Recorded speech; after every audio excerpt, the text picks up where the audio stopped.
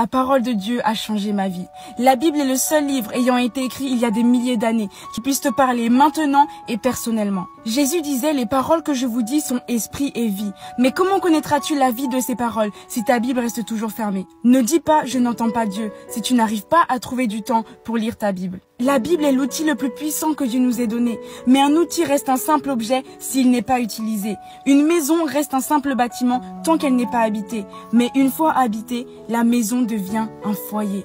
Parce qu'il y a de la vie, et j'aimerais te dire de faire de la parole de Dieu ton foyer. Quand ça va pas, réfugie-toi en elle, médite-la, ses promesses, et elle prendra vie en toi. L'homme ne vivra pas de pain seulement, mais de toute parole qui sort de la bouche de Dieu. Tu nourris ton corps tous les jours, mais à quand remonte la foi où tu as nourri ton esprit par la parole de Dieu? Tu ne peux pas faire que prier. La prière, c'est bien, elle te permet de communiquer avec Dieu, mais la parole te permet de le connaître, de connaître son cœur, ses désirs et sa volonté pour ta vie.